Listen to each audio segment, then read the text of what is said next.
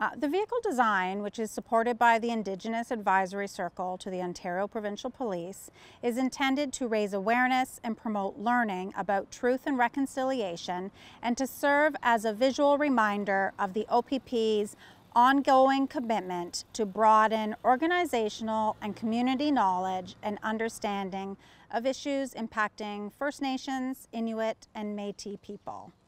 The vehicle is merely a symbol of the OPP's continued dedication to build relationships of trust, mutual understanding, and respect between police and Indigenous peoples.